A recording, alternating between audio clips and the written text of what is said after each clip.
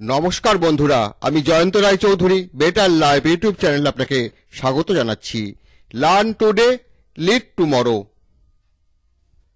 আজকের এই ভিডিওতে পাস্ট পারফেক্ট কন্টিনিউয়াস টেন্স নিয়ে বিস্তারিত আলোচনা করব। আমরা পাস্ট পারফেক্ট কন্টিনিউয়াস টেন্সকে পাস্ট পারফেক্ট প্রোগ্রেসিভ টেন্সও বলে থাকি। বিস্তারিত বলার আগে একবার দেখে নিই, আজ এই ভিডিওতে কি কি বিষয় নিয়ে আলোচনা করব। আমি বলব পাস্ট পারফেক্ট কন্টিনিউয়াস টেন্সের কিছু বৈশিষ্ট্যের কথা। পাস্ট পারফেক্ট কন্টিনিউয়াস টেন্স কখন কখন ব্যবহার করা হয় এটা নিয়ে আলোচনা করব। Past continuous tense versus past perfect continuous tense এটা নিয়ে আলোচনা করব। অনেক সময় আমাদের কনফিউশন হয় কখন পাস্ট কন্টিনিউয়াস টেন্স হবে আর কখন পাস্ট পারফেক্ট কন্টিনিউয়াস টেন্স হবে। আরেকটা বিষয় নিয়ে আলোচনা করব সেটা হচ্ছে past perfect tense versus past perfect continuous tense এটা নিয়েও আমাদের মধ্যে অনেক সময় কনফিউশন সৃষ্টি হয়।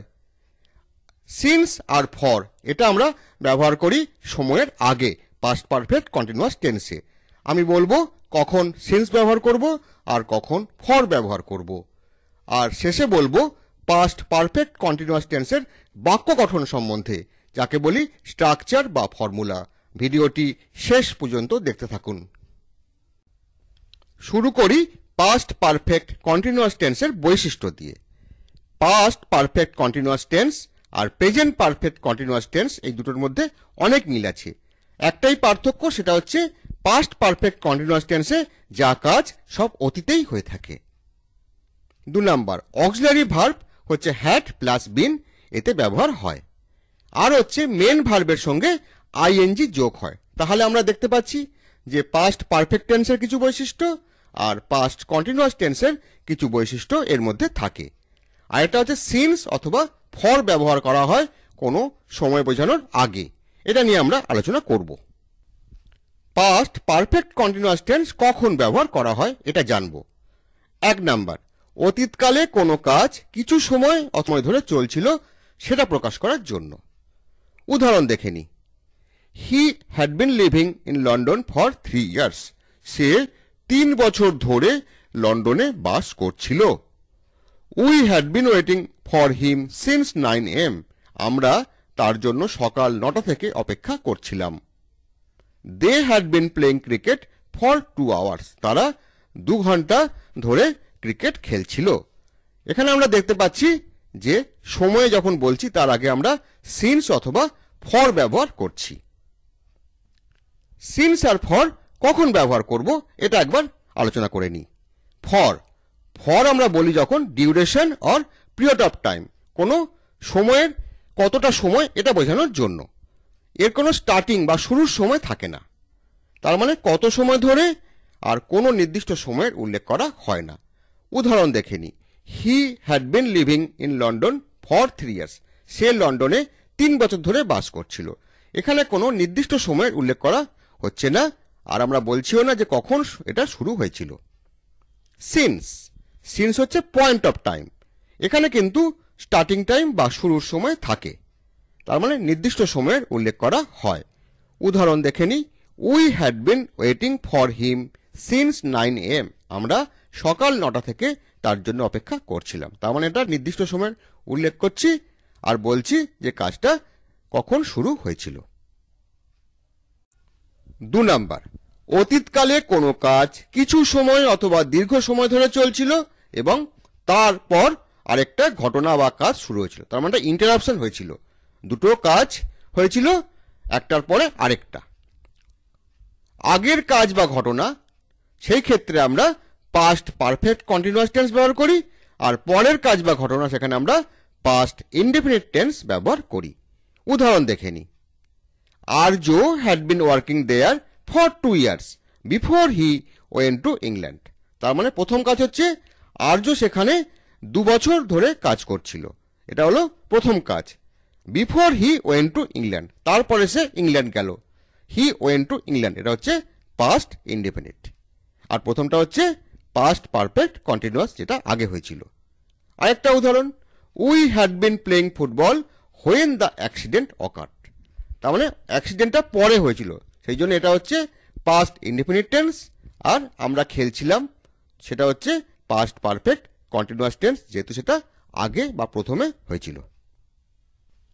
তিন নাম্বার, কোনো কাজ বা ঘটনা অতীতে নির্দিষ্ট সময় শুরু হয়ে শেষ হয়ে গেছে। তার মানে অতীতে নির্দিষ্ট সময় শুরু হয়েছিল এবং শেষ হয়ে গিয়েছিল কিন্তু সেই কাজ বা ঘটনা শেষ হওয়ার পরেও তার প্রভাব রয়ে গিয়েছিল। সেই প্রভাবটা কিন্তু অতীতে রয়ে গিয়েছিল উদাহরণ দেখে নিই। He had been working since morning সে সকাল থেকে কাজ করছিল। And that's why he was really tired এবং তার জন্য সে সত্যিই ক্লান্ত। তার মানে এটা হচ্ছে প্রভাব। It had been raining for six hours ছ ঘণ্টা ধরে বৃষ্টি হয়েছিল। The cricket match was abandon সেই জন্য ক্রিকেট ম্যাচটা পরিত্যক্ত হয়েছিল। তার মানে একটা হচ্ছে কজ একটা হচ্ছে এফেক্ট যখন কজ যেটা হবে, যেটা কারণ, সেই ক্ষেত্রে আমরা ব্যবহার করি পাস্ট পারফেক্ট কন্টিনিউয়াস টেন্স আর যেটা রেজাল্ট বা ফল এফেক্ট সেই ক্ষেত্রে আমরা ব্যবহার করি পাস্ট ইন্ডিপেন্ডেন্ট টেন্স এবারে আরেকটা গুরুত্বপূর্ণ বিষয় নিয়ে আলোচনা করব, সেটা হচ্ছে পাস্ট কন্টিনিউয়াস টেন্সের সঙ্গে পাস্ট পারফেক্ট কন্টিনিউয়াস টেন্সের কি পার্থক্য? এই দুটো টেন্সের মধ্যেই অনেক মিল আছে। এই দুটো টেন্সই অতীতে কোনো কাজ বা ঘটনা চলছিল, সেটা প্রকাশ করে। তাহলে পার্থক্যটা কোথায়? পাস্ট কন্টিনিউয়াস টেন্স শুধুমাত্র অতীতে কোনো কাজ বা ঘটনা চলছিল, সেটা বোঝাতে ব্যবহার করা হয়। তার মানে পাস্ট কন্টিনিউয়াস টেন্স জোর দেয় কাজ বা ঘটনার উপর। উদাহরণ দেখে নি। He was watching television yesterday evening সে গতকাল সন্ধেবেলায় টিভি দেখছিল। এখানে কাজ কি হচ্ছে? Watch watching he was watching যেহেতু এটা পাস্ট কন্টিনিউয়াস টেন্স কিন্তু পাস্ট পারফেক্ট কন্টিনিউয়াস টেন্স জোর দেয় কাজ বা ঘটনাটি অতীতে কত সময় ধরে চলছিল সেই বিষয়ের উপর। উদাহরণ দেখে নি। একই রকম সেন্টেন্স অনেকটা।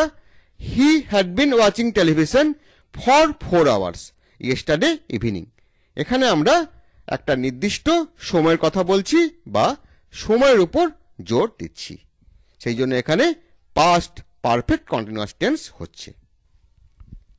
আরেকটা কনফিউশন আমাদের অনেক সময় হয়, সেটা হচ্ছে পাস্ট পারফেক্ট টেন্স হবে না পাস্ট পারফেক্ট কন্টিনিউয়াস টেন্স হবে। এই দুটো টেন্সের মধ্যেই অনেকটা মিল আছে। এই দুটো টেন্সেই দুটো অ্যাকশনের কথা অতীতে আমরা দেখতে পাই।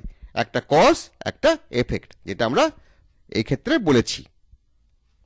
পাস্ট পারফেক্ট টেন্স অতীতের কাজ বা ঘটনার উপর জোর দেয়।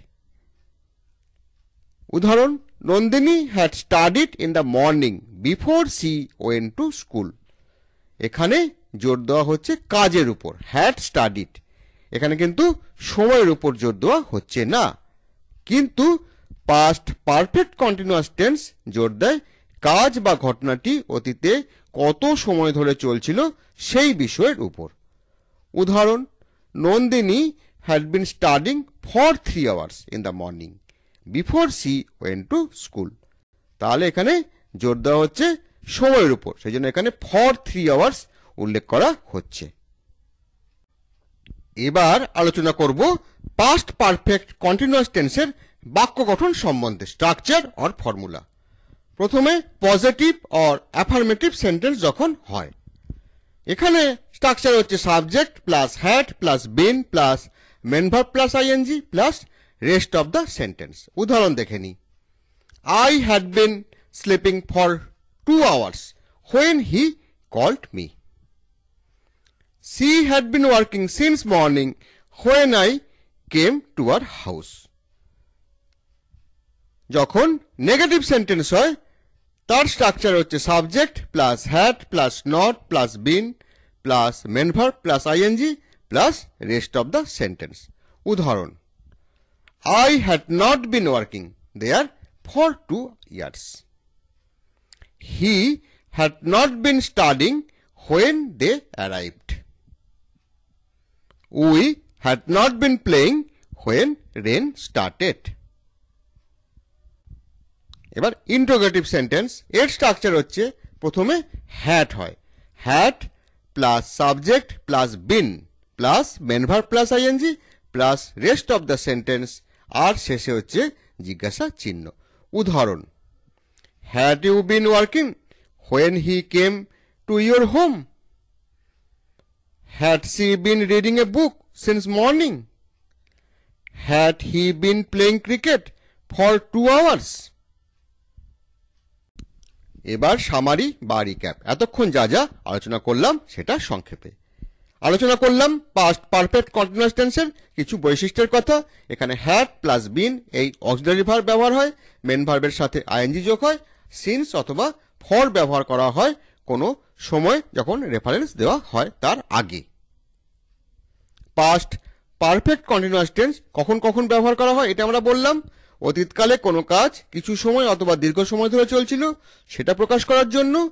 অতীতকালে কোনো কাজ কিছু সময় অথবা দীর্ঘ সময় ধরে চলছিল এবং তারপরে আরেকটা ঘটনা বা কাজ শুরু হয়েছিল। আর হচ্ছে, কোনো কাজ বা ঘটনা অতীতে নির্দিষ্ট সময় শুরু হয়ে শেষ হয়ে গেছে।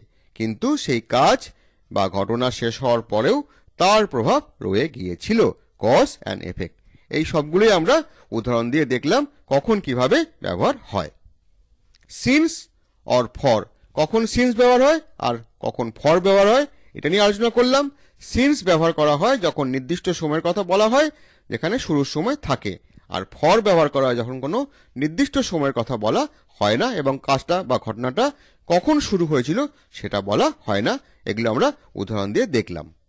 আমরা দেখলাম past continuous tense versus past perfect continuous tense কি পার্থক্য? পাস্ট কন্টিনিউয়াস টেন্স জোর দেয় কাজ বা ঘটনার উপর আর পাস্ট পারফেক্ট কন্টিনিউয়াস টেন্স জোর দেয় কতক্ষণ বা কত সময় ধরে কাজ বা ঘটনাটি হয়েছিল সেটার উপর। এটাও দেখলাম past perfect versus past perfect continuous tense past perfect এখানেও জোর দেয় কাজ বা ঘটনার উপর আর পাস্ট পারফেক্ট কন্টিনিউয়াস টেন্স জোর দেয়, সময়ের উপর কতক্ষণ ধরে কাজ বা ঘটনাটি হয়েছিল। আমরা পাস্ট পারফেক্ট কন্টিনিউয়াস টেন্সের বাক্য গঠন সম্বন্ধে আলোচনা করলাম। উদাহরণ দিয়ে তিন ধরনের বাক্যের কথা দেখলাম। Positive or affirmative sentence negative sentence আর হচ্ছে ইন্টারোগেটিভ সেন্টেন্স বা ইয়েস নো কোশ্চেন অনেক ধন্যবাদ। ভিডিওটি শেষ পর্যন্ত দেখার জন্য। ভিডিওটি কেমন লাগল সেটা কমেন্ট করে জানান। কি ধরনের ভিডিও দেখতে চান সেটাও বলুন। ভিডিওটি ভালো লাগলে লাইক করুন শেয়ার করুন। আর যদি এখনও আমাদের চ্যানেলটি সাবস্ক্রাইব না করে থাকেন প্লিজ সাবস্ক্রাইব করে ফেলুন।